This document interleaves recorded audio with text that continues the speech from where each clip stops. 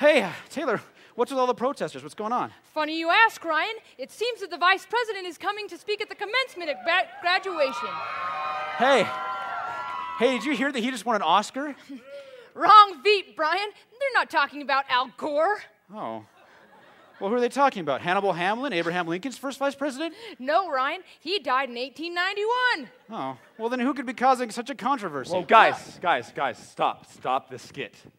Matt, Matt, what are you doing? We're in the middle of a show. No, guys, I've just come back from the future to tell you something really important. What? The skit's not funny. You came all the way from the future to tell us that? Yes. Is this is this like the time that you claimed unedited movies created zombies? Or like the time you said you came back from the never ending story? No, guys, this time it's true. Flux capacitor. Uh, prove it, Matt. I knew you'd say that. What? No, you And didn't. that. No, you didn't. And that too. Stop it. Look, Matt, you've got to show us something that you didn't know was going to happen, something random. Okay, um, all right, you see that guy right there? Yeah? He's gonna get hit in the head with a shoe traveling at 88 miles an hour. Okay, that is pretty random. You got to admit. All right, let's. Wait for it. Okay. Wait for it. All right. Wait for it.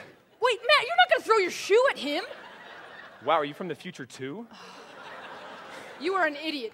Look, guys, I have a couple things I need to tell you. First off, the skit wasn't funny at all. You wrote it. Inconsequential. Second of all, Taylor, there's a donut off stage. Whatever you do, don't eat it. Is it poisonous? No, it's mine. and I really want to eat it. Hello, McFly. anyway, and Ryan, your firstborn son, don't name him Horatio. Uh, it's a bit late for that, Matt. He's three years old. I already named him Horatio. Yeah, I know, it's a dumb name. Change it before it's too late. My suggestion is Matt. Okay, don't ask any questions, just grab onto each other and uh, try to keep up, okay? Sweet, not a problem. Can't get any worse.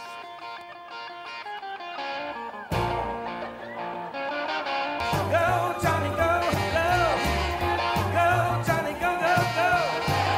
Go, Johnny, go. Okay, now you've fallen in love. You're welcome. Matt, we're married. Yeah, but it was a loveless marriage.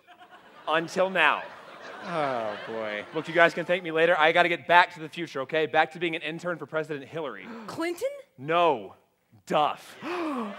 He rocks in the treetop ball.